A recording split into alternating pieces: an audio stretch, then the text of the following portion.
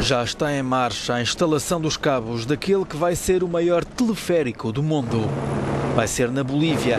O sistema vai ligar as duas maiores cidades do país, La Paz, a capital, e El Alto, no oeste, ambas com uma população superior a 2 milhões de pessoas.